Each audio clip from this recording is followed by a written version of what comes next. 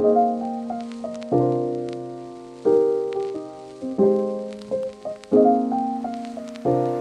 everyone, welcome back or to my channel. I'm Lexus and this is Nom Nom to Fitness, the channel where I make mainly healthy vegan recipes. So, welcome to my channel if you're new here. So in today's video, I'm going to be showing you how to make sea moss gel. I've been using it in smoothies and honestly, if you don't know what sea moss is, just type it in on Google and research all the benefits.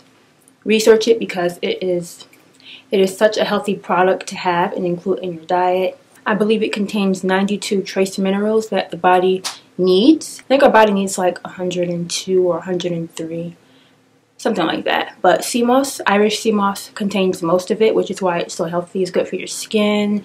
It's good for internal organs. Just research it. So I got this off Amazon and it comes dried in a package like this.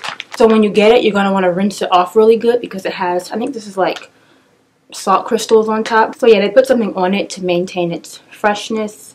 So yeah, I'm going to clean it in water. We're going to let it soak and then we're going to cook it down in a pot until it forms a gel. And I like to add cinnamon to mine and nutmeg.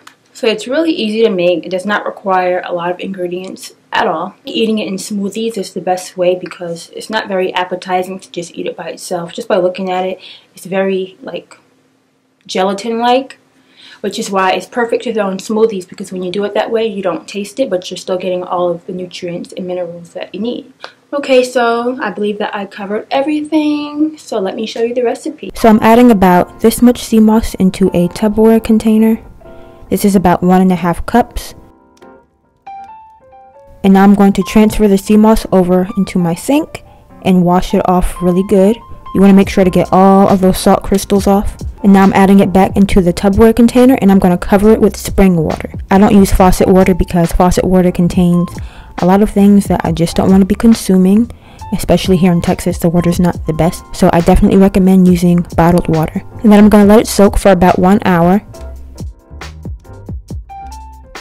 And after an hour has passed, what you want to do is taste the water. And if the water still tastes salty, then you want to drain the water out and add more water and let it sit for another 30 minutes to one hour. So by this point, it has doubled in size.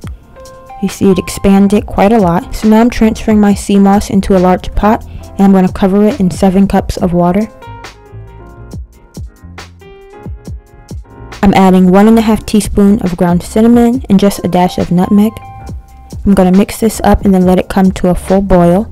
Once it's boiling, I'm going to turn the flame down to a low medium. I'm just going to let it cook down for about 45 minutes to 1 hour and every 15 minutes I stir it up to prevent the bottom from burning. So you just want to be on it every 15 minutes, just give it a mix. And once the sea moss gel starts to melt, like this, that's how you know when it's finished. And my sea moss was finished in about 45 minutes. So now I'm pouring it back into the Tupperware container and I'm going to let it cool to room temperature, then store it in the fridge overnight. The next morning you have your sea moss gel ready to use.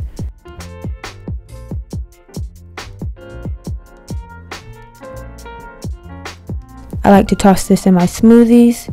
So I'm adding some bananas and some frozen berries, some unsweetened almond milk, a scoop of vanilla protein powder, and a quarter cup of sea moss gel.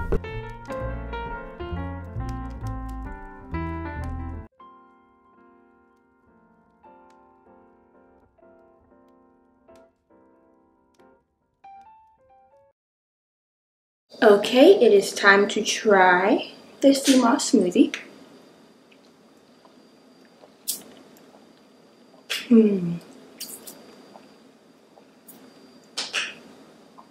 So good. So yeah, you don't really taste the sea moss at all because it doesn't have a taste. So you're just getting the taste of a delicious smoothie with all the benefits that the sea moss has to offer. So definitely make the sea moss. So I hope you enjoyed today's video. Hope you liked the sea moss recipe. Thank you so much for watching. And feel free to like, comment, and subscribe. And I will see you in my next video. Bye-bye. I'm going to finish this smoothie.